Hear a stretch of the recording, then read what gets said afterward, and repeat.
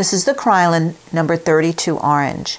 I have used a lot of this in body painting and one of the great things about um, this paint is the color matching.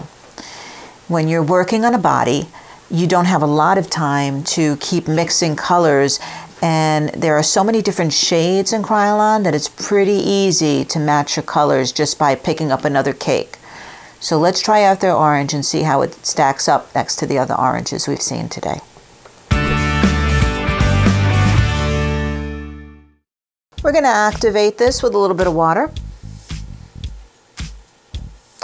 Nice and creamy. Okay. Easy to apply by brush. And as far as checking the line work,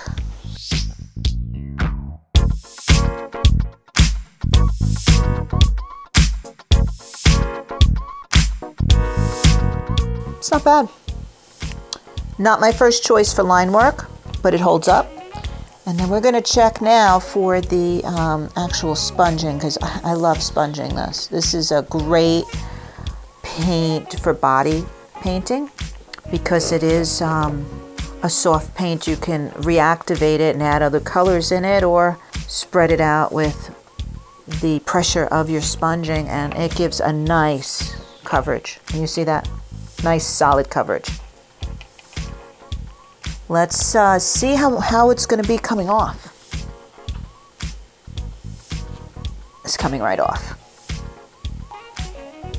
No yellow residue. I have to put a little bit more pressure on the wipe to get it off and I may need one more wipe, but I don't see any of the yellow staining um, being left behind with this one. Very good solid paint. Thank you for watching. We hope you enjoyed this review. But you never know, I could be wrong. You might want to put your opinion below and subscribe to this channel for future updates.